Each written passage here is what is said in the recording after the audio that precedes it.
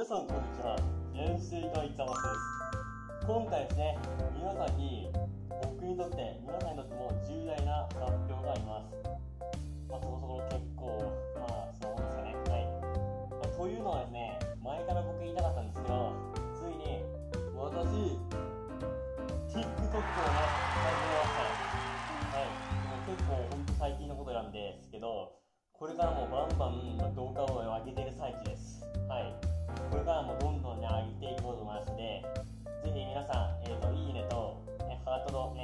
ローぜひお願いします。